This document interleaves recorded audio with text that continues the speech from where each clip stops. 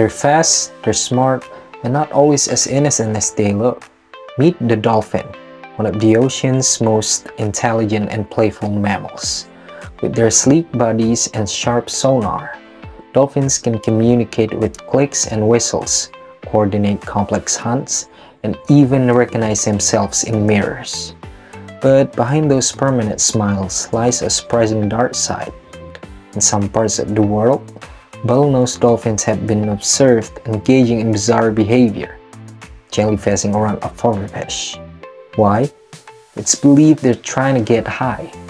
Yup, you heard it right.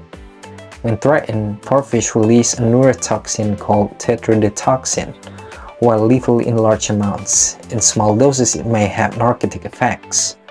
Dolphins seems to carefully handle the fish, as if experimenting with just the right dose before slipping into a trance-like state. While this behavior is still debated by scientists and might simply be curiosity or play, it's a reminder that even nature's most beloved creatures have complex, predictable minds.